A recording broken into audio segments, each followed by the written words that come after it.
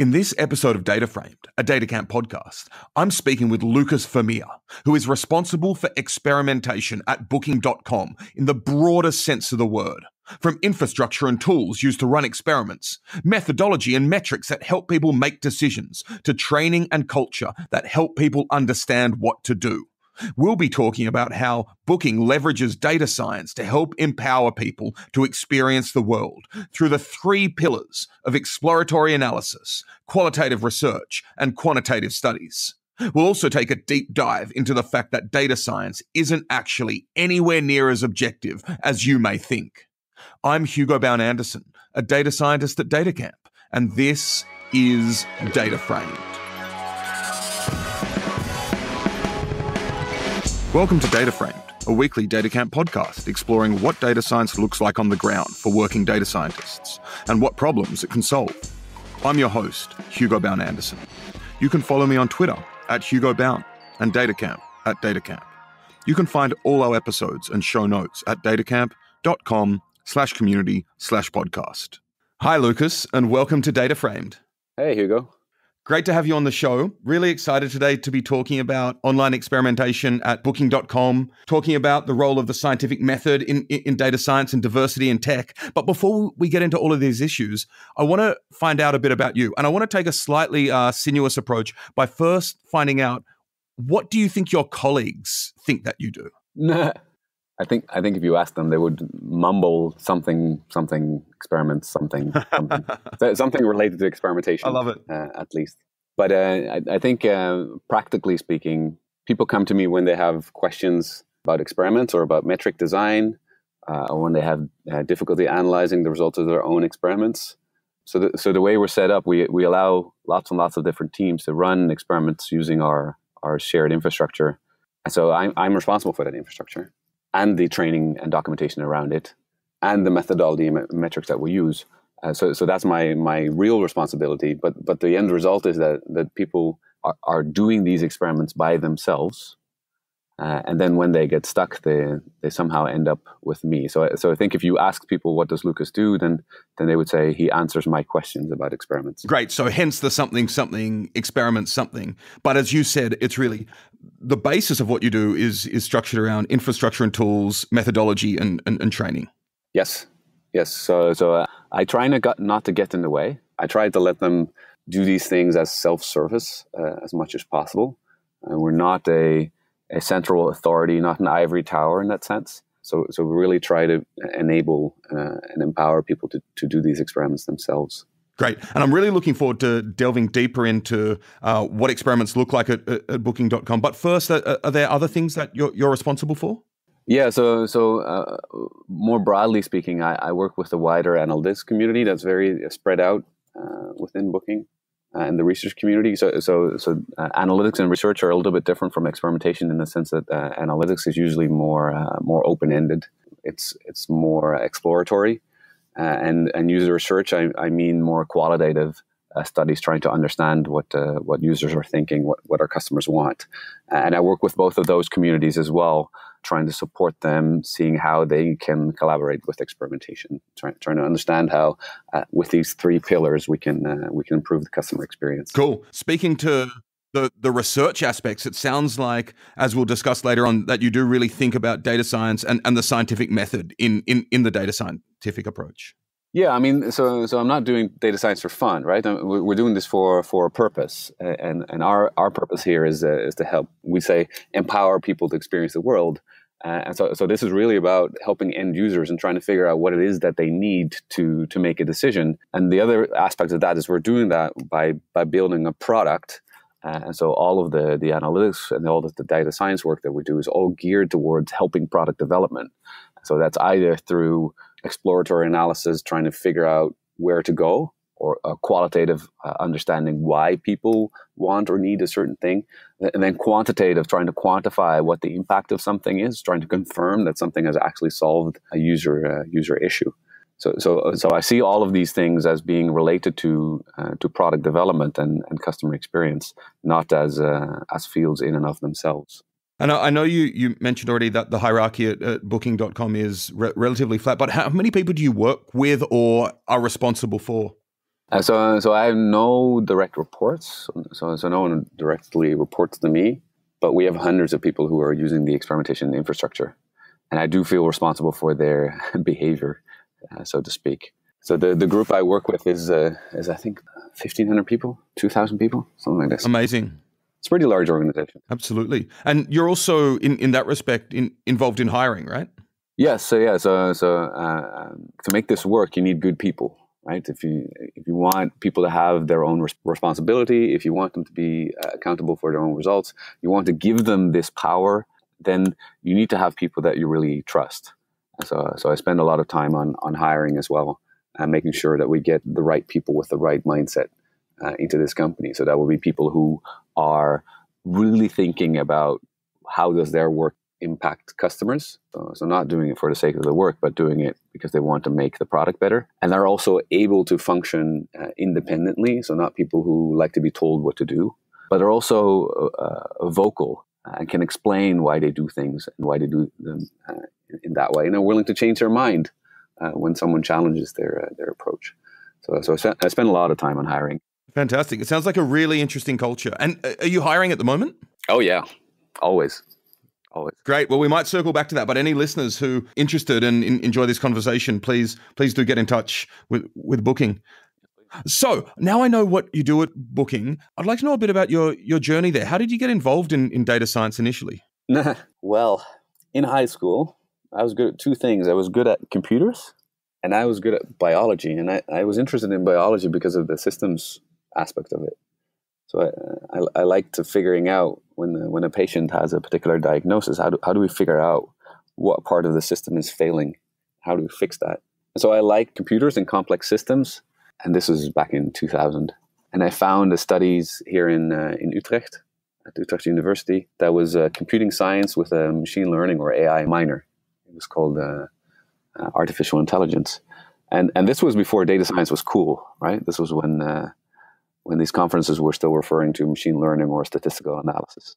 Yeah, I think it was before data science was was even a term. Yeah, yeah, it wasn't coined yet, and so and so and that's where I, where my my journey uh, began with a with a fairly technical background in in uh, computing science.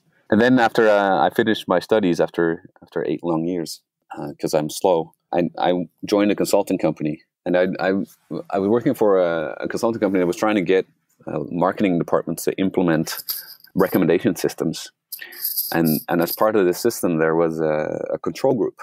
So there was a the way for the system to figure out for itself whether it was being effective or not. Right? You want you want something to compare against. You want if you're making recommendations, you want to know do those recommendations actually add value. So they, they had a control group built in, and, and one of the questions I would get a lot was, uh, "Can we please turn off the control group because we just want to give all of our customers the best thing?" and that that spoke to me as such a fundamental misunderstanding of, uh, of the scientific method. I thought that was very striking that many of these companies they're trying to apply these machine learning methods, but they they don't really understand the core foundations of, of data analysis. And so then at some point I ran into a man who worked for Booking at a conference, and we started talking. And he was really interested in my work, and I was very interested in the in the culture that they seem to have. Uh, so I, so I joined Booking five years ago mostly because I was fed up with companies that didn't really understand this idea of being open to change, being open to being proven wrong, and trying to build uh, a product that actually uh, provably helps people rather than going by, by gut all the time and just using data to confirm your, your initial beliefs. So I started building ranking systems and recommendations here at Booking. That was the first thing I did. And then I, I wasn't really good at that, I think. Uh, wasn't wasn't my forte. Uh, but but one thing that I noticed is a lot of people were running experiments, and, and I had opinions, very strong opinions about how how they were doing that. Um, and I was so vocal about that that at some point people just asked me, "Do you do you want to do that for like a full time job?" And that's about four years ago. And so since then, I've been responsible for experimentation just because I was so loud. yeah, and, and even a, a, prior point in the trajectory, your trajectory that, that you described is realizing that experiments with respect to the recommendation systems in, in for marketing weren't actually being done correctly, right? With respect to the control groups. So, so the cool thing about that is that that it's the the tool was working, right? It, it, the, in terms of execution, uh, it was executing that experiment correctly. The, me- the method was actually very sound it was just that people weren't listening. They weren't Right. they weren't using that data to then inform their decision. Yep. And and I think this is uh this is when I go to conferences about data science, I, I I- I'm always worried that all these fancy methods that are being proposed that they don't end up with anyone actually changing their mind. Then, then uh, I mean, what's the point of doing a data, data analysis if you're going to do the exact same thing that we're going to do anyway?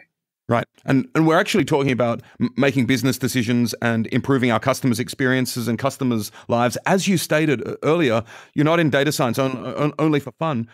You're also doing you're facing a lot of business challenges. So I'm I'm wondering what are the biggest business challenges faced at, at booking.com? Oh boy. So my role is quite technical. So, so I'm not really on the business side of thing.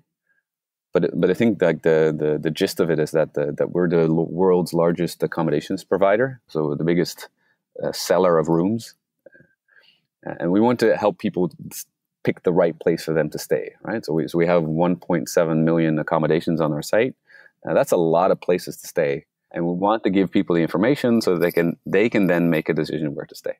Now that's that's already a a challenge, but I think the other thing that's going on is that we also see that consumers want more than just a bed to, to sleep in, right? We, we want to we want to power them to experience the world. That means we need to help them uh, find things that are not just a bed, but places to see, things to do, as well as places to stay. So those are two sort of uh, business challenges, and I think on the on the technical end, uh, we've been growing faster than Moore's law for about two decades now. Uh, you could think of us as the like the the biggest hockey sticked uh, startup in the world. And this is in terms of number of transactions or number of customers or number of hotels or All of those, all of the above, Everything. Yeah. So, so, so, so, so growth is growth, right? I mean, we're, we're a marketplace, so so all these things are are related. and how do you scale then? Well, so so one one part of scaling is the technical scaling, right? So so it's con- it's a constant challenge just to make sure that that stuff works. Just m- making sure that we survive next summer and that that all of our systems keep working is an is an interesting technical challenge. But I think for me, the the the bigger challenge is the organizational challenge. Uh, our size as a company has also grown uh, a lot. And, and like you said, we're a very flat organization. We like to give people a lot of power. We like to uh, let them make their own decisions at, at the lower level, right? So it's not the, the boss telling them what to do. The, the boss is telling them what to aim for, and then they, they execute. They, they decide how to get there. And, and scaling that is, is tricky because it's not just building more layers to the, to the org chart. And you have to find ways to help uh, people communicate. How do we share knowledge? Uh, how do I find out what other people are, do- are doing? How do I challenge them? So, so if I disagree with what they're doing, how do I escalate?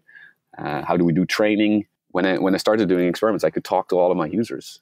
We were all on one floor here in Amsterdam in our headquarters. I could walk up to everyone who was running experiments and ask them what, the, what was on their mind. And if I, if I disagreed with any decisions, I could walk up to them and go talk to them. We're running so many experiments now, I, I can't even read them, all of them anymore. It's just going too fast. And as you said, you have 1,500 or 2,000 people using running experiments, right? Pretty much, yeah. Incredible. So you've identified three, perhaps four really interesting challenges. I mean, there's the, the matching problem of getting Mhm. your customers the inform or your clients the information they need, uh, the hotels they need.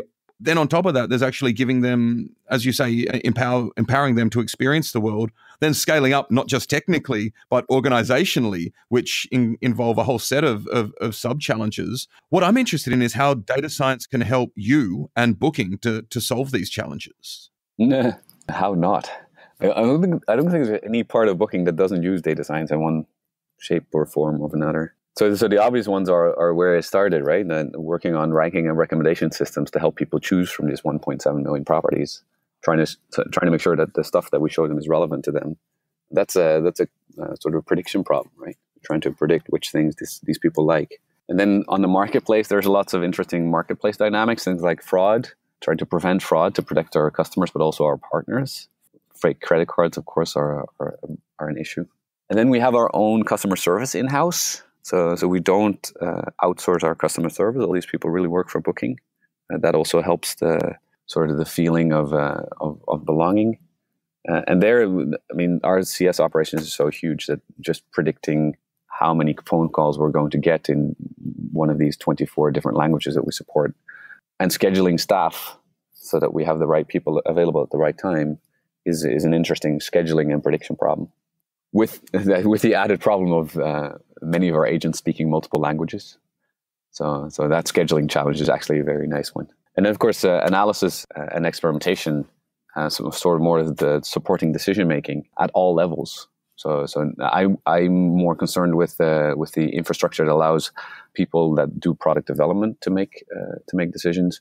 Uh, but but obviously, leadership also needs data analysis to figure out where to go.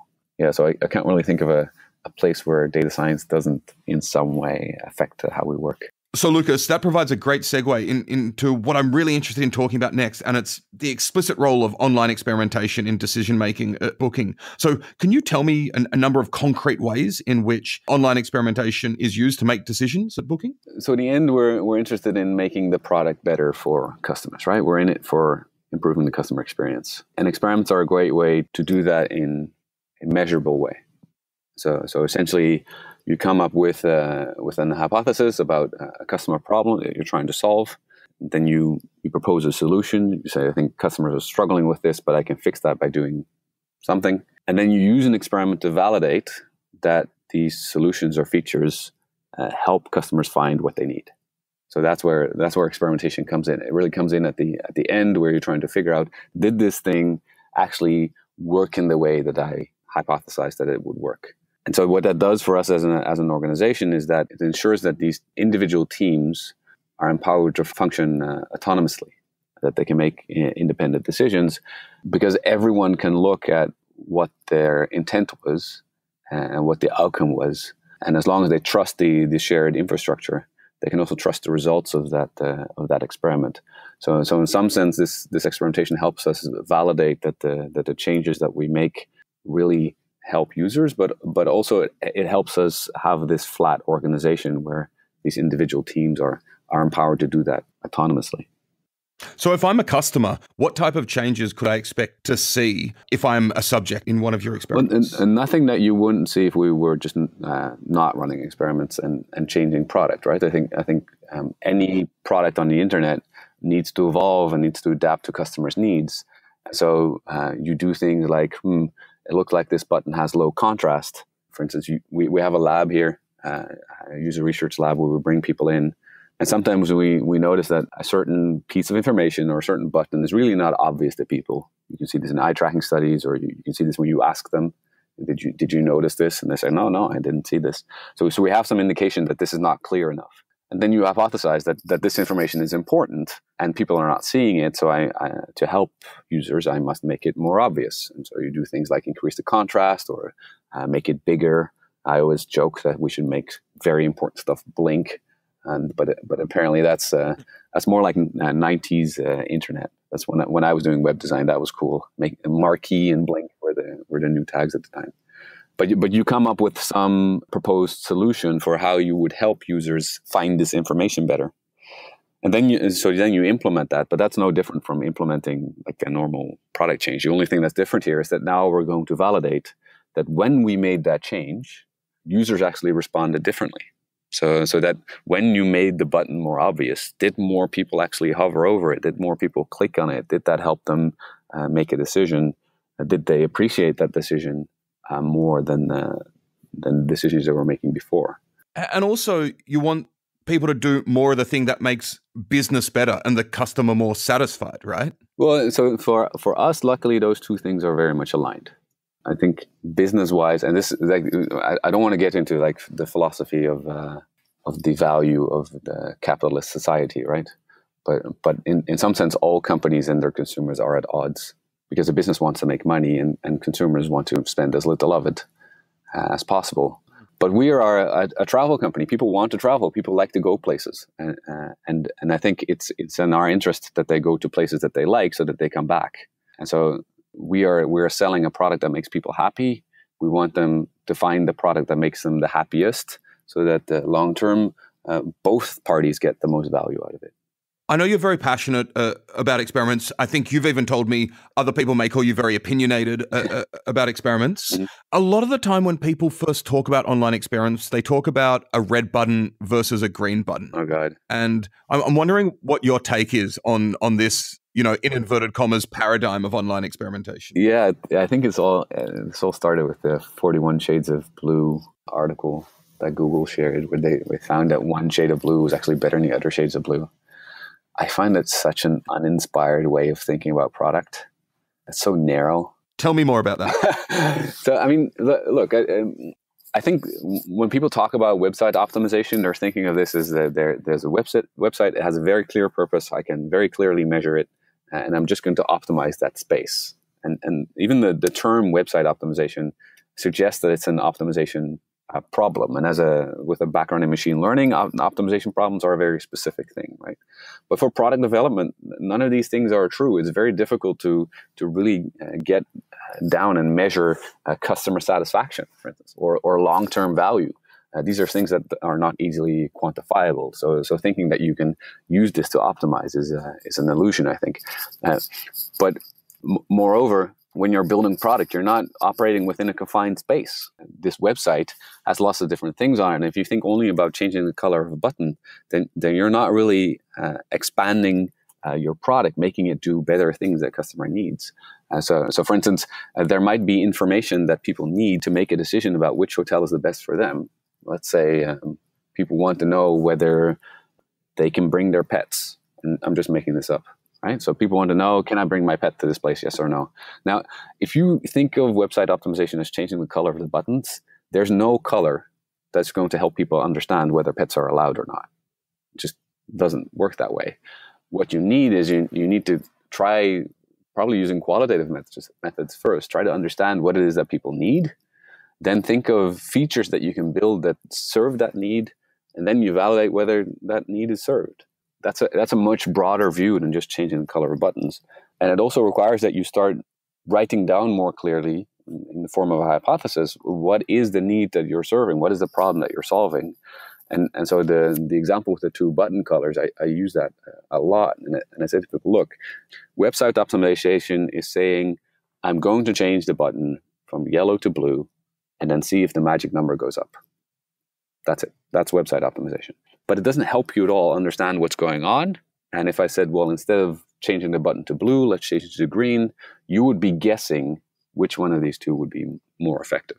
But if I said, we know from uh, eye tracking studies that people don't notice this button.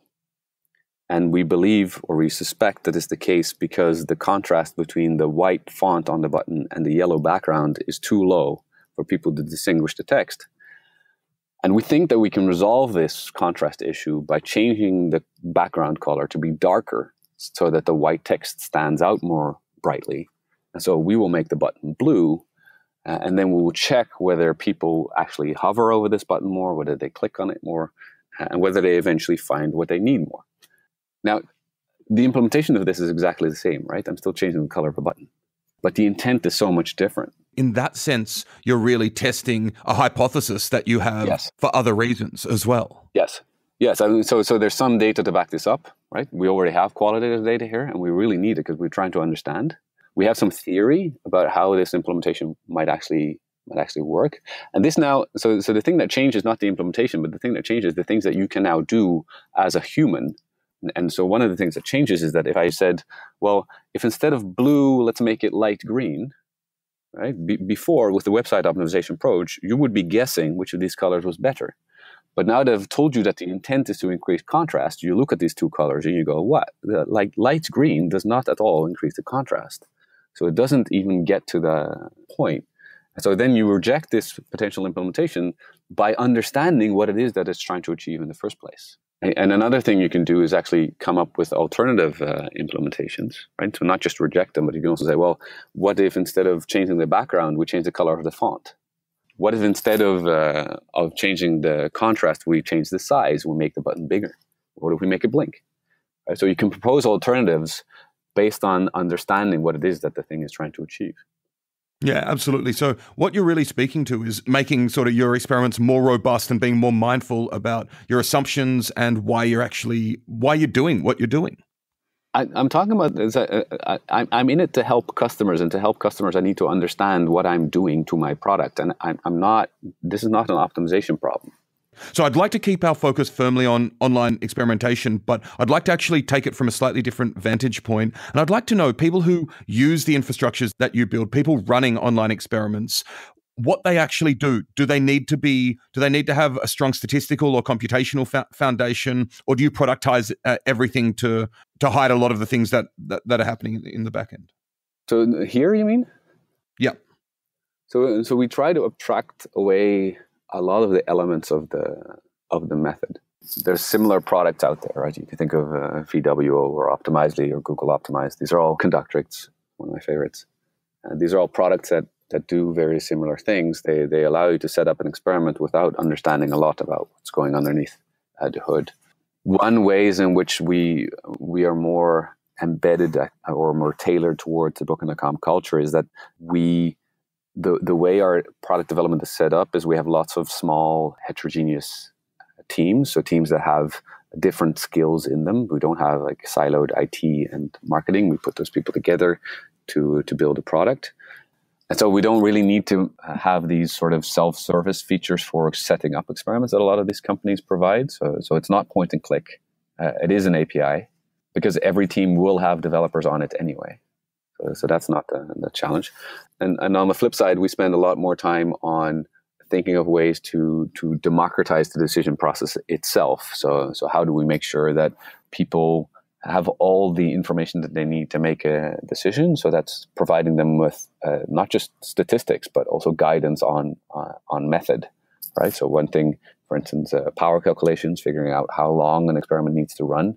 That that is something that we try to to really uh, make self-service, let people do that uh, independently, uh, but also just let them stick to it, right? So, so it's one thing to do power analysis; it's another thing to then run your experiment for exactly that duration. And so the tool is very much geared towards uh, self-servicing the method. We'll jump right back into our interview with Lukas Vermeer after a short segment.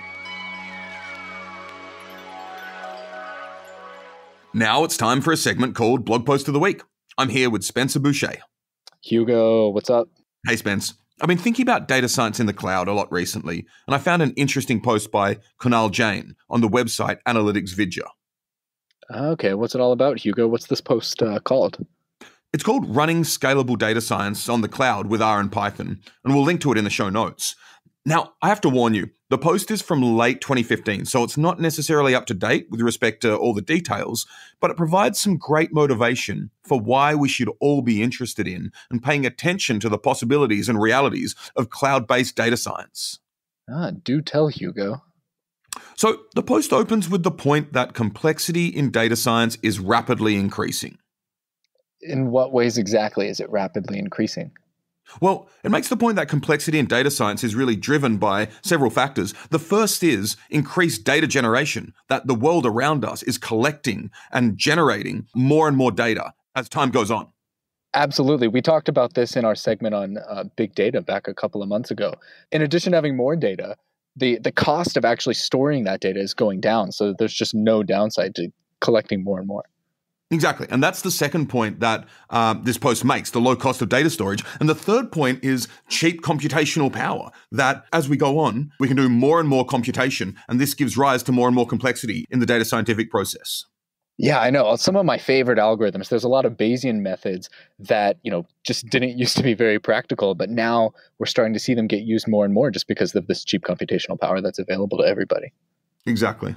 But so okay, even given all this increased complexity, why else would we want to run data science on the cloud instead of on your laptop?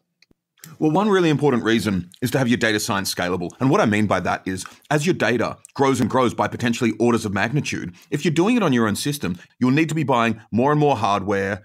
And you'll need to keep changing your hardware setup. If you're running it in the cloud, uh, your data science work is actually scalable as your data grows. Yes, and this is exactly what you want for like a big one-off project, for example, where you don't have the resources to make a huge capital investment, but you need a lot of resources for just you know one quick project. Absolutely. And another great reason for doing data science in, in the cloud is collaboration. If you've got a lot of people uh, working on a particular project or working on, on, on the same data set, whatever it may be, if it all exists in the cloud, you can all have uh, relatively straightforward access to it. Yes, exactly. So sharing code goes a long way towards reproducibility as well. So you don't have to get requirement files and and versions of software synced up on everybody's machines. One great example of this, I think, is like the Jupyter Notebook server, where you can actually have a whole team of data scientists doing data science in the cloud on a remote server with the exact same environment across an entire company or even you know multiple institutions. Absolutely. And RStudio server does um, a similar thing for the R ecosystem as well. Yeah, exactly. And this also speaks to the last point uh, that the post makes is that when we have cloud based data science infrastructures, we really have this larger ecosystem then for machine learning system deployments. So some cloud services like AWS, Azure provide complete ecosystems to collect data, run your models, and then deploy them. Okay, so I'm sold on this. What are the options for getting started if I've never done this before? So the big players, at least in late 2015, were AWS and Microsoft Azure. In this blog post of the week, Kunal also mentions IBM Bluemix, Sense.io, and Domino Data Labs, among others. But 2015 was a long time ago in data science years, Hugo. I know this is really just the tip of the iceberg compared to what we have today. So, can you? What else is out there? Well, Spencer, I hate to be a master of suspense, but you'll have to wait until next week's episode to find out, in which I'll be speaking with Paige Bailey, senior cloud developer advocate at Microsoft. I'll be chatting with Paige about data science in the cloud as it is today and as we move into the future. Okay, well, that sounds pretty exciting, Hugo. I will definitely be tuning in next week. I definitely hope so. After that interlude, it's time to jump back into our chat with Lukas. So we've spoken a lot about the data science capabilities that you guys leverage at, at booking.com and the role of online experimentation. I want to step back a bit. People think of data science as a as a modern superpower, and with with mm. as with all, all all superpowers, there's a lot a lot of hype and a lot of buzz and, and, and a lot of things that a lot of expectations that won't be met. So I'm wondering, to, to your mind, what can't data science do at Booking or elsewhere, or wh- what is the limitation, the event horizon of the the possibilities of data science? Huh. I think a lot of a lot of stuff you read about data science concerns itself with prediction and correlation models. There's this this famous uh, Wired, I think it was Wired, said that uh, at some point we won't need theory anymore. We just need more data. Wow, that's just so at odds with my own my own experience, my own worldview. It sounds like nonsense. Well, that's a bit extreme. To say that. I think there's lots of things where predictions are actually fine. And you don't really need uh, understanding, right? If you're trying to predict what a consumer will buy, then then I don't really need to understand why you like this particular type of hotel. So, so for recommendations and ranking, I don't think we need understanding. Not necessarily, but you do need some sort of theory. You can't just throw data at a question without understanding how to interpret the question, interpret the data, interpret the answer, and build some sort of cognitive model as well. Yeah, absolutely. And th- so this is what I call, uh, or have called in the past, uh, uh, philosophers and telescope builders. Right. Right. So, so, so the, the the thing that I think is missing from from the data science field, or thing that's not emphasized enough, is the need for people who think about the the causal uh, connections between things, uh, understanding rather than just predicting, constructing theories, thinking about what it is that, that I can learn with this method and what are the things that I cannot learn? What are the blind spots? What are the what is the white space? So those are the people I call uh, philosophers because they think about uh, what is the meaning of what we are uh, finding. So the other group I think are undervalued are, are the people who build telescopes, the, the people who work on the telemetry, people who think about how to measure things. It's sometimes difficult to even think about well, what data do I do I have, what metrics can I can I build, and this is this is a a field or a challenge in itself, especially on the internet, where a lot of the stuff that we want to know is actually happening on your computer, and, and we don't have access to that. We can't see you.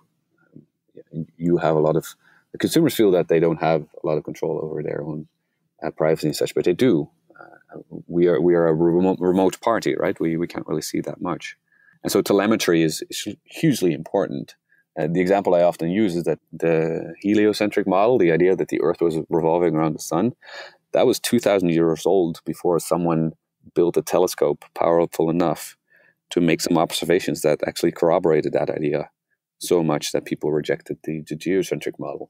So, so it wasn't that this theory wasn't around and that people didn't uh, think of this before. It was just that you you need something someone who can build the the infrastructure or the or the the telemetry that allows you to measure the things that you need to support that. I think that's something that's hugely undervalued. People who can really think about what data do I have, what data is missing. Missing data is a huge issue. And do you see yourself as a philosopher or a telescope builder? I, I should have seen that one coming. You set yourself up for it. yeah. Um, well, considering that I came up with those two uh, roles, I, I, would say I'm more of a philosopher than a telescope builder, wouldn't you?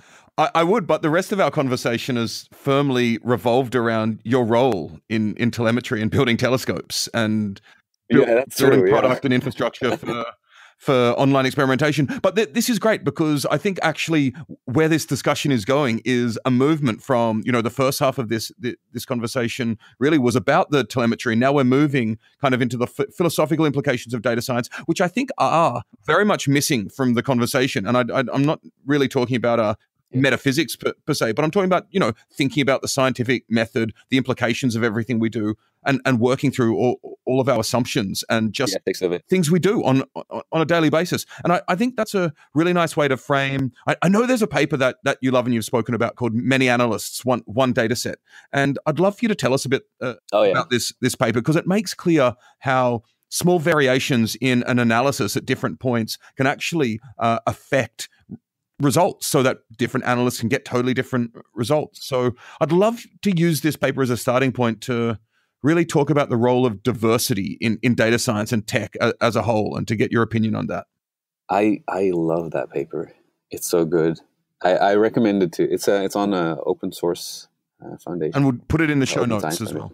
Oh, excellent! Yeah, yeah. So so I recommend it to to any analysts that I, that I speak to, people who are used to doing data analysis, because I think one one assumption that people make a lot is that data is objective, and data points are, are already theory related, and we can talk about that later. But but it, the process of analysis itself is a subjective process, and and and, and I don't say say that lightly. The, this paper actually shows that this is the this is the case. So so as an analyst, you feel that you're following the data, that all of the, the the small decisions that you make make sense, and that they're that they're inconsequential to that objective decision that you reach in the end.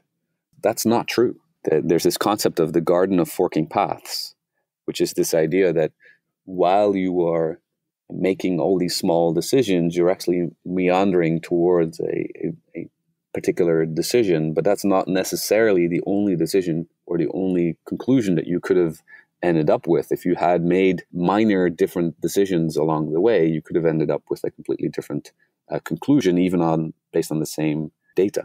So, so in this in this paper, they, they actually try to show this by taking a, a fixed data set of referees whistleblowing for different players in the soccer league. So, so we have data on for each player uh, and for each referee whether they were given a yellow or a red card, which is what happens when you make an offense. And they also included the ethnicity of the player and then asked 30 something groups of analysts, so in individual groups of analysts, they asked them, do you think that uh, referees, or is there evidence that referees are ethnically biased, yes or no?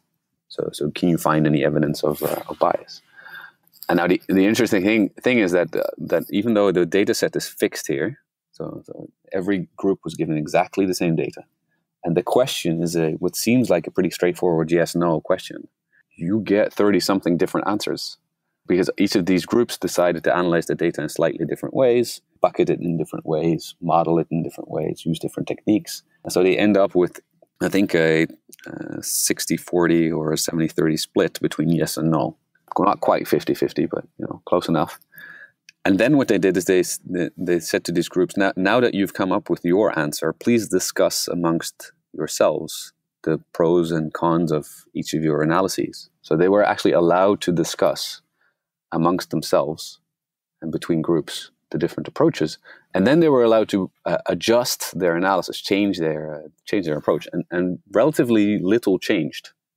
Even though people now knew that it was possible to come up with a different conclusion they didn't really change their own.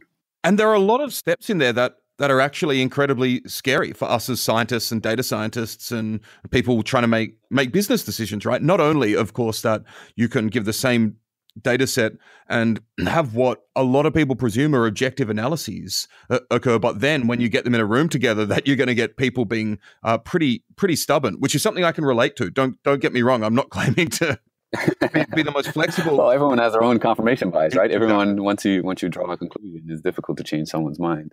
I think i think one one way to avoid this kind of thing is there's one way to avoid this thing that's that, that made me think a lot about this for for data science in general is that in experimentation uh, it's actually common uh, practice to pre-register your analysis before you see any data. You you describe exactly what you're going to do. You describe how you're going to analyze the data, and so this is what a hypothesis essentially is. Then you run your experiment and, and analyze the, the results. So, so and, and by pre-registering that analysis, your analysis is not influenced by by any data that comes up after the fact. So, so essentially, you avoid the garden of forking paths by laying out the, the route you're going to take before you you start your journey. And that that's not always possible, right? For for confirmatory analysis, and when you know what the data is going to look like, that that's that's a possibility. But sometimes you do exploratory analysis, and then it's a lot more difficult to try to sort of describe what steps you're you're going to take. So, so another uh, uh, approach that I think people in uh, in risk analysis uh, have already adopted is, is this idea of uh, of bootstrapping the analysis by having many analysts uh, perform independently uh, the same analysis. So so you get not one analyst or one group of analysts to to try and answer this question, but you get two or three or four uh, trying to answer exactly the same question, and you compare the answers you get. Now, you you mentioned diversity, but I think that's uh, that's one of the reasons that diversity is so crucial. Because if all of these anal- analysts are like-minded, uh, then you won't actually get a very good bootstrap. It's like you get a biased uh, sample, right? So so you want that group of analysts to have different backgrounds, to come from different parts of the world, to have different trainings, different experiences.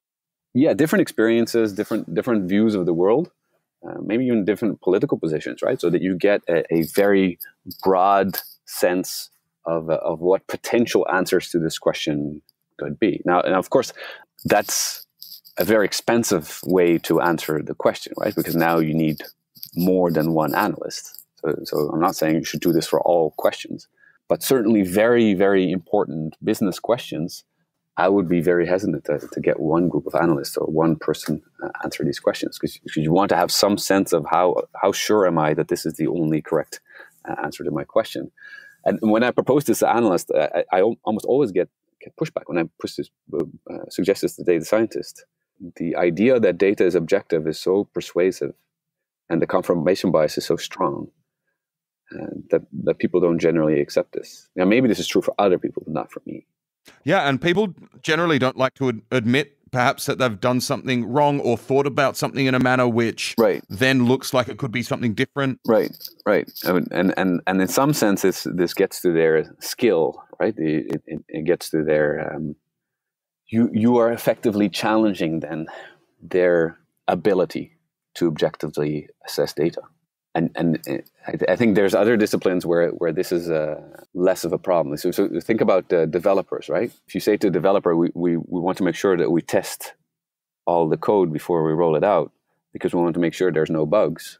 There's very few developers that would argue that they don't ever write bugs, right? And it's because they've been confronted with stuff that they wrote that doesn't work several times and made them realize that they're not perfect and so that that leads to acceptance. And i think the same some somehow needs to happen in in data science where unless we show people that their analysis is not the only way to come to an answer and that maybe their answer is not as objective as they as they thought it's going to be very difficult for people to accept the idea that they might be wrong so I want to focus for a second on your statement that the more diverse the group of analysts, the better. And I'm just wondering, is this something which is stated explicitly and implemented at Booking?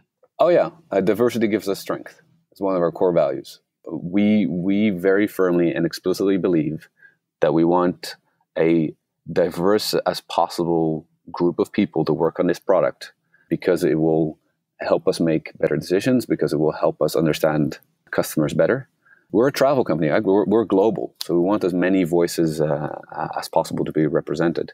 So, so as an example, here, in the office where I'm sitting here in Amsterdam, it's, it's not a very large building. It's in it's right next to Rembrandt Square, which is really in the, the heart of Amsterdam. It's like the smack middle. In this relatively small building, there's a hundred different nationalities, which which I think is enormous. Uh, and that's not accidental. That's on purpose. We we want uh, as as much diversity as we can because we we think that actually is a, a core strength that's really interesting. And I think that type and, and magnitude of diversity coupled with the flat hierarchy that we, we spoke of earlier would make for an incredible conversations and, and, and dialogue w- within oh, the company as a whole. Oh yeah, should, our lunch conversations are awesome. I, I mean, every day you meet you meet different people from different parts of the world who think about like the world completely differently Uh, and and, and it's, it's, also a very humbling experience, right? Because you think of you, you, your own upbringing, your own environment makes you who you are, and you think of that as the only right way, almost to be, right? And so, so it's almost like the garden of forking paths. So there's also a garden of forking paths in in, in upbringing, in education, in in how you live your life, and actually that diversity is something that that really gives me a lot of energy. I love I love this this group of weird people that are so alien to me. It's great. Awesome. One other thing about diversity is that so we wrote a paper about uh, our experimentation infrastructure, the underlying stuff that we use to run these experiments. And one of the points that we make is that we we actually have two completely independent data pipelines that are uh, trying to measure the same things, but in different ways. And they are maintained and, and built by different people. And those people are, of course, allowed to talk to each other, but they, they hardly look at each other each other's code. And that's that's exactly uh, this idea of bootstrapping, right? We, we we acknowledge that the experimentation infrastructure we have will, and this is not a maybe, but it's a definite. There will be edge cases and bugs, and it's very difficult to uncover them unless you have something to compare uh, against. And so we we have these two independent data pipelines, and we compare the results of those for every individual experiment, so that we can say with more confidence, here are the results of your experiment as corroborated by two independent sources.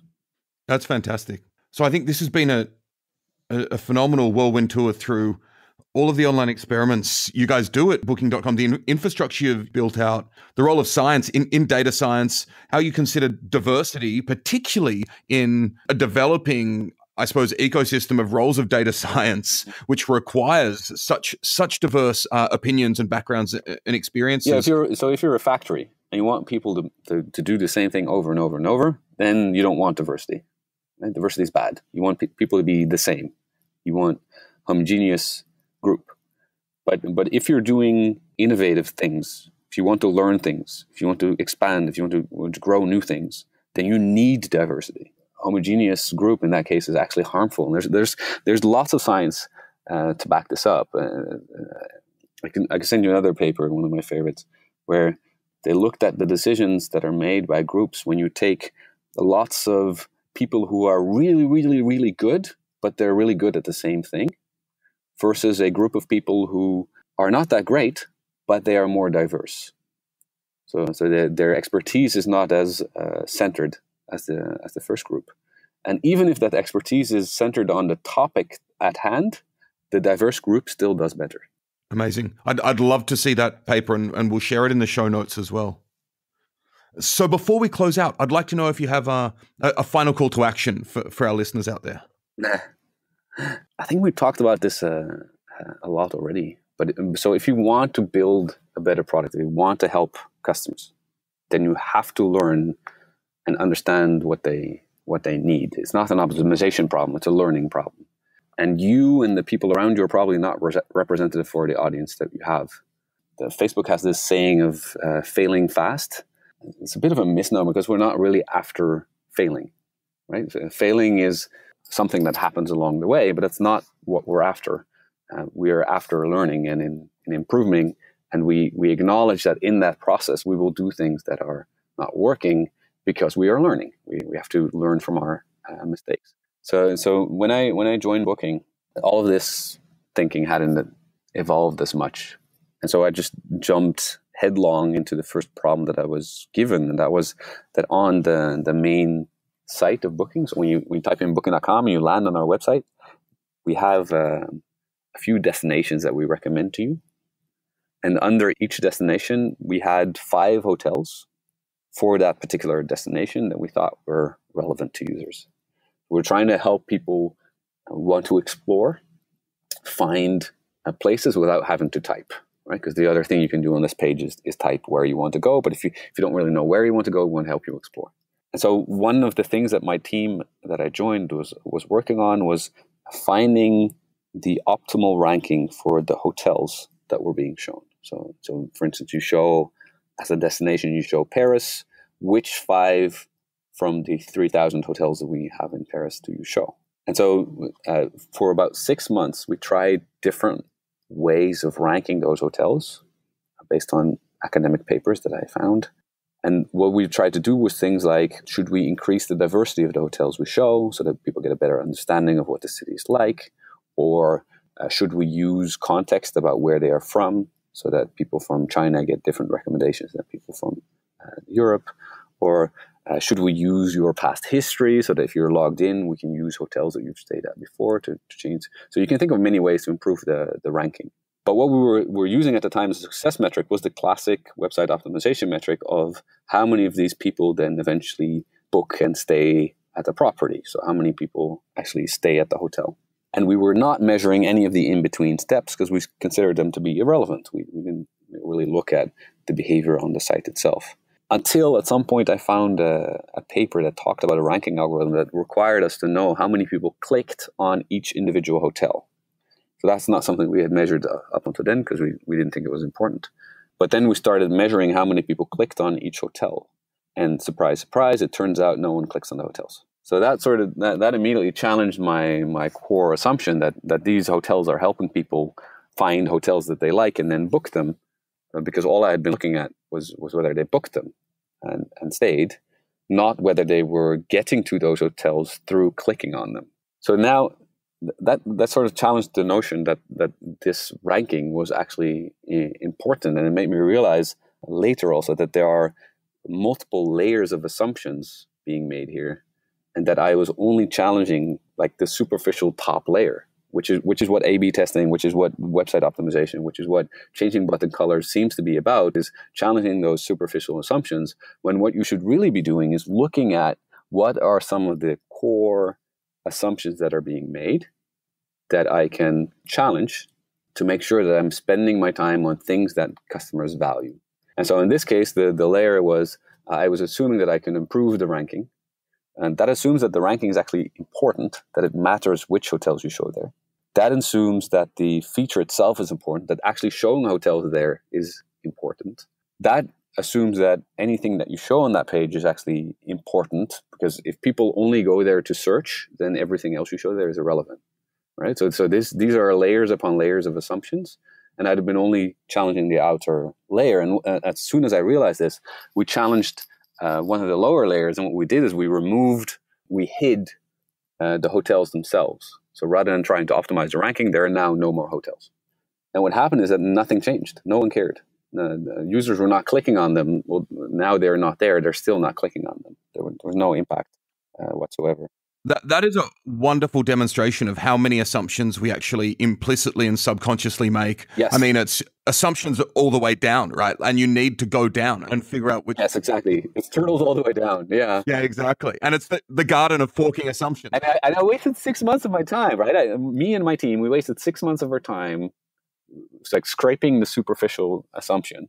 And, the, and so the irony is that actually hiding these hotels was the easiest thing we had ever done in those six months right? All these ranking algorithms, they took days or weeks to build. Whereas just hiding these hotels, challenging that core assumption, was like a five minute change. And the, the way we do continuous delivery, like the moment we decided that, like an hour later, this test is running, you can already see it's not doing anything. I think I, I could have come in at booking and with within the first day, I could have shown if I had thought about this up front, I could have shown that there was no value to this product and removed it and then spent six months doing something else. But instead, because I wasn't thinking about it, because I wasn't challenging those assumptions, I wasted six months of, uh, of our time. They didn't. They didn't fire me, so that's good. That's something. Um, uh, yeah, otherwise, we wouldn't be talking right right now. Yeah, exactly. That, that's something. But it did make me realize that that uh, oftentimes when when we're trying to improve a product, we're making many unspoken assumptions, and actually writing those down can be super super important. And that's a that's a philosophy I was talking about. Yeah, exactly. And I think it's very telling that you've learned from such a mistake. You're improving from it, but also that you're communicating about it so that we can tell all the listeners out there to try to uncover what assumptions you're actually making and yes. to challenge them yeah, before so, you and, do six and, You know, the, the weird, like, uh, sometimes people say, well, you can only use A B testing to, to test small things. And, and, and I think this is wrong for, for two reasons, right? One, one is that um, you can actually A B test large changes, and, and we do. But the other is that it's not necessarily about how big the change is, it's about how important that assumption is. So, so in this case, the hiding those hotels is a one-line change. It's it's a bunch of CSS that hides them, does nothing else. That's a very small quote unquote change, but it has ginormous impact on how we allocate our time and how much we can help customers right? Because in the end, we're still trying to improve this uh, product. I'm not just clocking my hours trying to not get fired. I'm trying to make changes that help customers. And to do that, I, I, need to challenge those core assumptions first, so that I can figure out which things to focus on. And I think this is true in many, uh, many businesses, not just not, not just for booking. Oh yeah, and it's even true in you know, basic science research. I think my listeners are probably sick and tired of me telling this story now, but I, have seen grad students in biology, which is my former incarnation, pipette for four years oh, and do 10 times as many experiments as they needed to if they'd realized how to actually perform the experiments to test the hypothesis that they'd made, right? Right. And and it's a, and, and many cases, these, these core assumptions, they, they are not just a, eh, important for you to decide whether to proceed, but you also expect to see much larger uh, effects there. And so, so the irony is that once you uncover these big, big assumptions, and it's easier to challenge them, and it's easier to, to, to detect an impact. So, so it's, uh, it's, not like it's the, the, the, the difficult part here is the philosophy part. The difficult part is thinking about what are the assumptions that I'm making, and then challenging them, uh, and being open to uh, to being challenged. Very much so.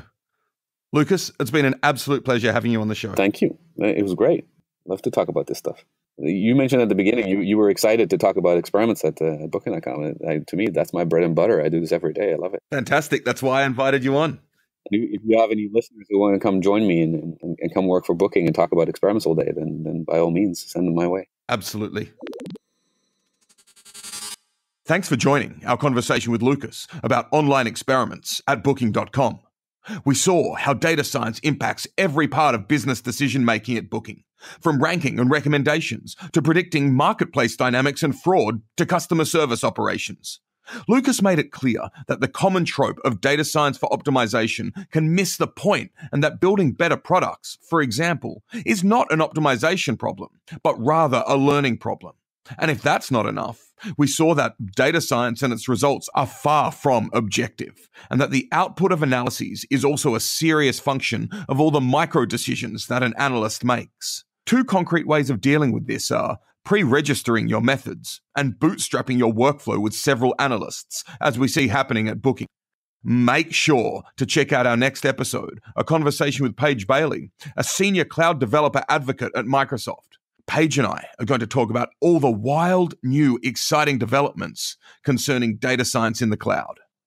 I'm your host, Hugo Bowne-Anderson. You can follow me on Twitter at Hugo Bowne and Datacamp at Datacamp. You can find all our episodes and show notes at datacamp.com slash community slash podcast.